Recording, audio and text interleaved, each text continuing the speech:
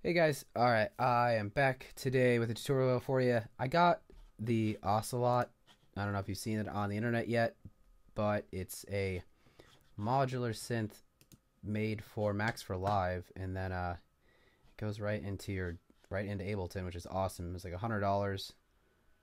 Pretty, it was worth it.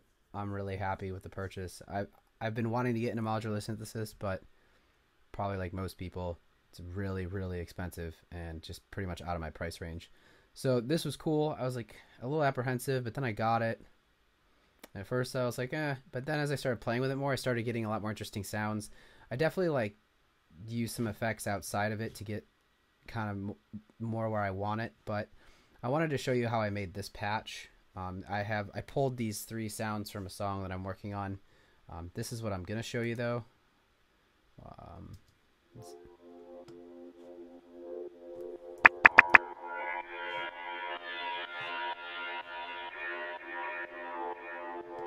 this is what the patch looks like.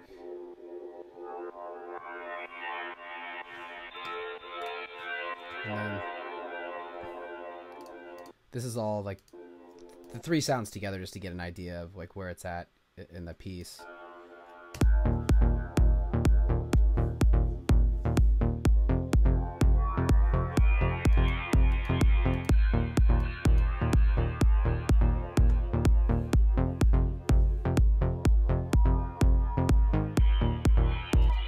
So save some CPU, turn these off. I'm not going to be using these for a while at all, probably again. And also this doesn't really shut off, um, so it can be kind of annoying sometimes. But, uh, alright.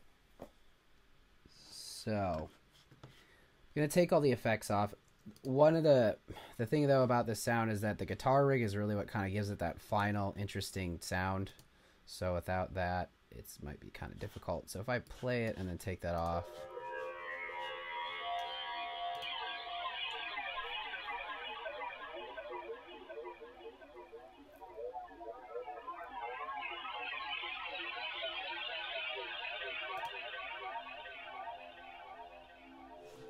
So again though, yeah, that's right. Um, again, I just wanted to go over kind of this synth and then show you what I've been doing. Uh, at first, it's pretty difficult. I found it challenging, even though I can get around in a synthesizer. Um, it definitely changes the way you think and approach things, and it's been really cool. And I highly recommend this if you want to kind of try to push yourself and think differently with the way you design sound. Um, so if you have this, awesome. This might be fun for you to watch. If you don't, you just kind of are interested in it, you can kind of see what's going on here, and uh, we can go from there. So basically, I, I can't even remember. I can't even tell at this point. to be honest, I should have looked into this before. But the MIDI to CV gate is basically generally like I am kind of taking more of a deadmau5 approach with this kind of stuff because like a lot of times he just will put LFOs on his oscillators and then make the pitches bend kind of crazy. So that's kind of what I have going on here. I think once you put that on there, the MIDI to CV gate doesn't actually take precedence anymore.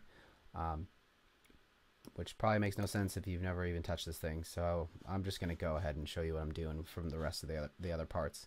Uh, so basically, what we did here is just to start, if you wanted to use this, the simplest patch, you basically need audio in.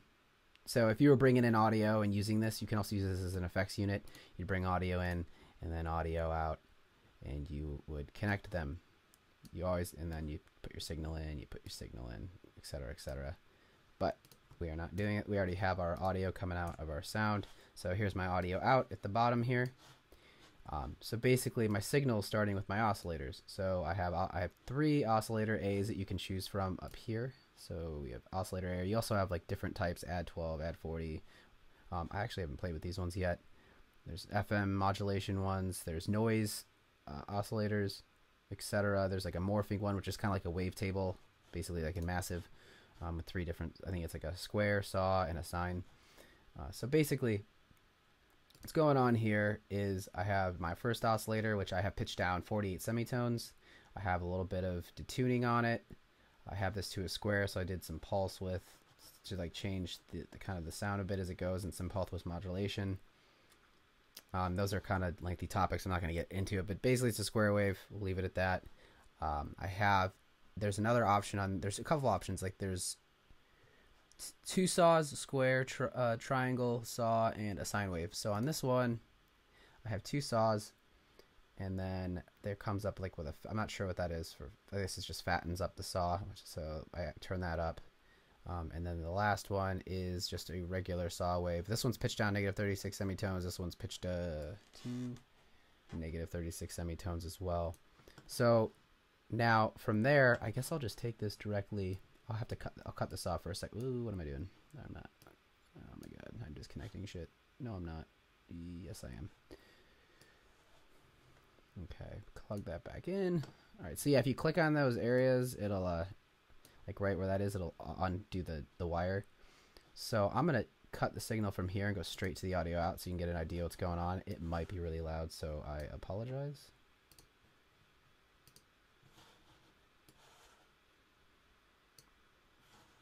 Okay, this is, might be really loud actually. Alright, I have all this other stuff on it still though. Let's do this. Let's turn all these off.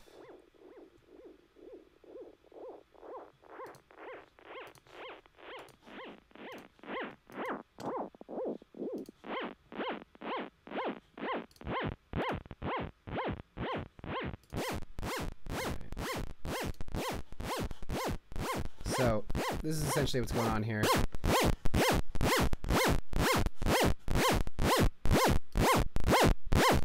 So you can hear what's going on. Um, the, they're just pitch bending. I have an LFO that goes from the signal out, and I go into the CV control voltage gate. There's like there's one, two, three CV gates that you can have on here. CV1 is automatically turn all the way up. Um, but then when you look over on these other ones, there's CV2 and CV3. So you actually, those set are at zero. So if you don't turn them up, they have no effect. So essentially what's going on here is the signal's coming out of here. I set up my LFO to modulate it, this basically what that wave looks like. Um, it's quarter notes. And then I send it to the CV gate. So what's it's doing, ah, damn it. Did it again. So what that's doing then is just modulating the pitch right here for each one of these. And then from there, I'm taking the output of each oscillator, so you can kind of see it there, output, output, output. There's a way to hide the wires, but I, I haven't actually looked up how, so I'm not going to do it right now because it might take forever. But, so then I have a mixer. So there's different type. There's a three band, there's like a three channel, there's an eight channel. I haven't looked into the other ones too much yet, but I just use the three. So basically, I can mix these three sounds together, and these are really just gain controls. So I have my first oscillator coming into this one, second oscillator into that one, third oscillator into that one. And then what you're hearing now is it's coming out of our audio out, but what I'm actually doing is putting it into a wave shaper now after, but I have to rewire it back in. So signal goes out. Now the signal's in the wave shaper, which is then it's running back through all this other stuff. And because this is all hooked up already, coming. So, alright, let's actually just come from the wave shaper now. So I gotta unhook it from the filter bank. So instead of going to the filter bank, we're gonna go straight to our output again, so you can hear what's going on. So the wave shaper just gives a little more grit. Not a whole lot. I.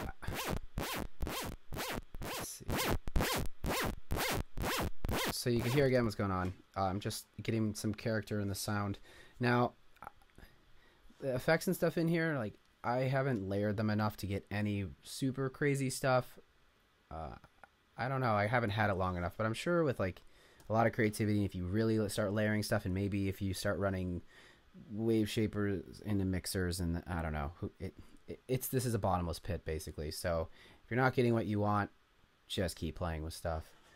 Um, so basically, like I said, this this wave shaper then goes into this filter bank. I really did nothing with this because I haven't quite figured this thing out yet. Um, so I can't even really explain to you what I did. I don't even think I adjusted any of these, except I changed the mode, which gave it a different tonality. And I turned up the resonance on it, and I pushed the vintage button, and I kind of liked how it sounded. So that's kind of it for that. I wish I could explain more. I guess we can cut it from going to the grain delay, so you can kind of get an idea from what it sounds like to from that spot to that spot. So That's the wave shaper to straight out to audio. But now we're to go from the wave shaper into our filter bank here, which is a, it's right effects filter bank, and that is your option right there. So you bring your signal out to the left channel. So you can hear it's different.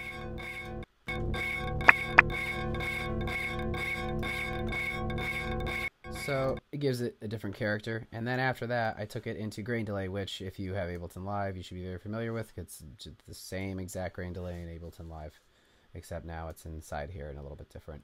So I just opened it up and then started playing with stuff till I got something interesting. I don't want to screw up this line, so let me figure out where everything's going to. Okay, so went from that to the grain delay. So we're going to go, skip going out of the Oh, I only went out. Oh, that's right. You can only go out on the left one side and that. Okay, so this is basically what sounds like going in the grain delay now.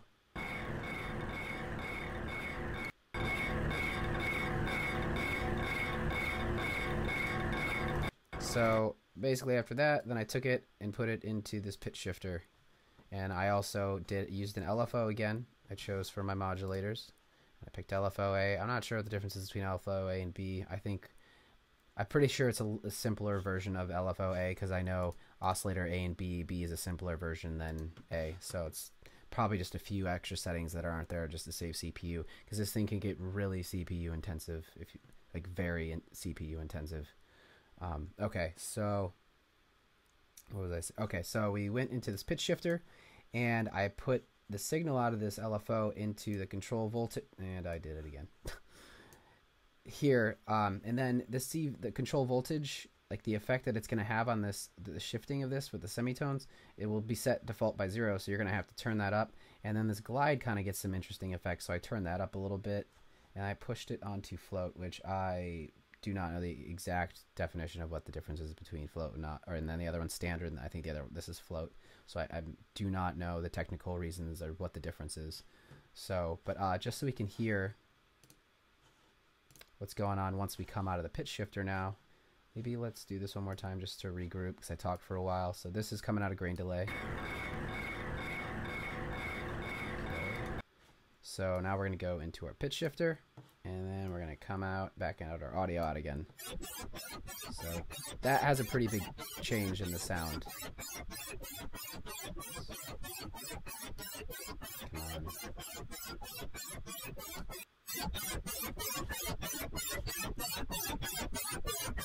So that's from there. And then lastly, I just went into my chorus and I put that on. I adjusted the settings a little bit and I took my left out, put it into my output, put it into my output. And that is really it for that sound. Now again, we'll add the rest of the stuff back on. So put some e, got some EQ on there, took out the low end, took some of the top off.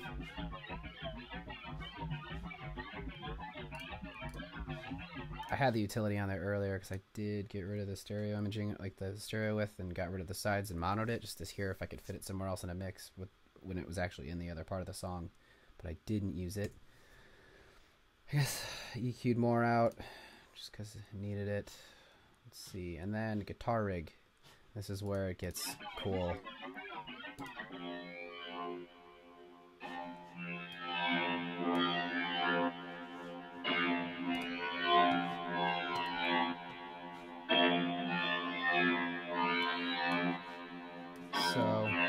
I think what I used was effects. So if you have this, you can look it up. Effects. Handbrake blues. Where's that at? I think it's guitar. Nope. Nope. Nope. Nope. Okay. I don't know where it is. Oh, I think I started though, so not that that's going to help. It's just going to be a different list. Basically, all right, the preset is Handbrake Blues. Didn't even touch anything after that other than putting this from mono to stereo. Uh, that's really it for that. And that really gives it a nice, like, really cool, really cool character. Like, I, this, I love this sound. Um, put some more filtering on it with the resonance. I kind of like the sound of the auto filter over using EQ8. It has a little more grit, I guess. Um, then I put some simple delay on top. Compression to kind of, you know, keep the sound under control because, you know, some of the sounds get some of the spikes in it and you want to keep it kind of level, especially for mixing purposes. Otherwise, it's going to pop too far out of your mix.